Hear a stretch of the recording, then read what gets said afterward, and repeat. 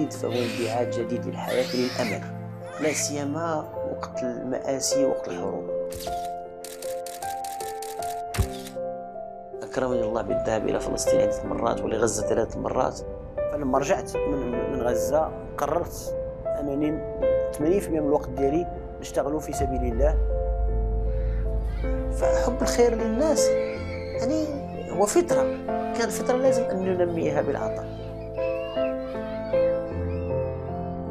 طبيب الأمل على الجزيرة الوثائقية.